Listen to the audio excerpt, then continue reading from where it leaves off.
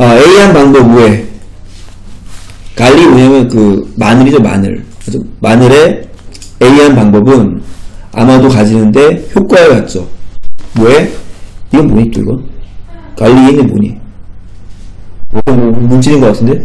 그렇죠? 마늘에 있는 이것의 비를 효과를 갖는 경우 있죠. 다시 갈리 뭐 저장 방법, 기르는 방법, 요리하는 방법. 이, 이 물질의 quality의 양의 맛의 뭐 양질의 quality가 좀 어울리는 것 같은데? 네? 요, 요게 좀 더 마음에 드네. 갑시다.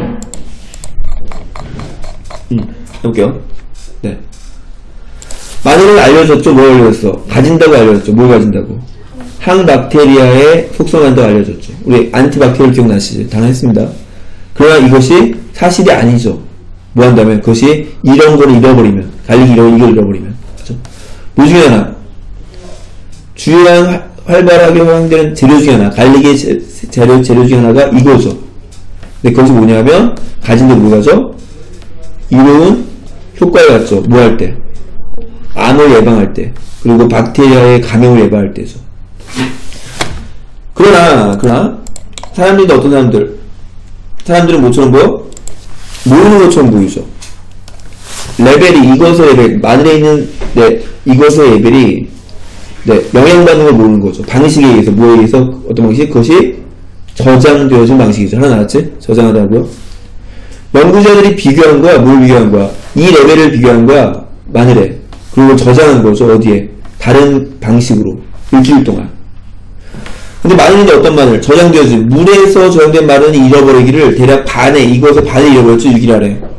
그리고 찹되어진 마늘이면 이게 빠진 마늘은 3일, 3일 물에서 빠 마늘 물에 있는 것은 3일 안에 잃어버린 거죠. 연구원 또한 발견하기를 야채 오일에서의 네, 갈릭이 잃어버렸는데 이것을 반을 잃어버릴 때 하루에 그리고 찹 갈릭이 메탈 오일에서는 1시간 미만에 잃어버리게 된 거죠. 그래서 그렇다면 어떤 방식이냐면은 저장되어지는 방식인 것 같고 요- 마지막에 꼬신 거 요리를 꼬신 것 같고요. 네, 뭐를? 어 그러면 답이 뭐니? 2번인데 이것의 양을 영향을 줬다는 얘기죠. 줄어들었다 얘기 나오고 있죠. 2번인 것 같지? 어, 또 혹시 모르니까 볼게. 40번에